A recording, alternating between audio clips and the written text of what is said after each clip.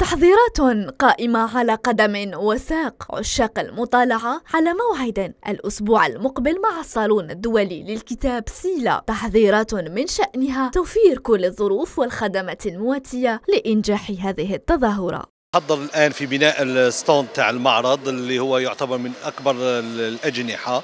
سيضم يقارب 1500 عنوان من العناوين الجديدة. المعارض اللي ما اللي كانت ألغيت بسبب الجائحة فإنتاجاتها حاضرة هذه السنة يعني إنتاجات 2020 إنتاجات 2021 الطبعه الخامسه والعشرون. طبعة تعود بعد سنتين من الغياب بسبب الجائحه الصحية. تظاهرة ثقافية تأتي. تحت شعار الكتاب جسر الذاكرة. كما سيعرف المعرض حضور إيطاليا دولة شرف والعديد من الكتاب.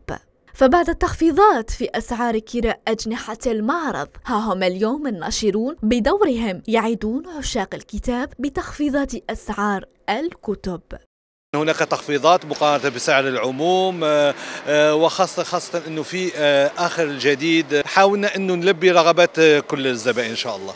وضع منصة رقمية تتيح الزيارات الافتراضية للمعرض مع إمكانية شراء الكتب عن بعد بهدف عصرنة هذه التظاهرة وتوفير خدمات رقمية جديدة. قرارات أصدرت في سبيل إنجاح العرس الثقافي وتشجيع المقروئية. فالموعد يوم الرابع والعشرون من هذا الشهر.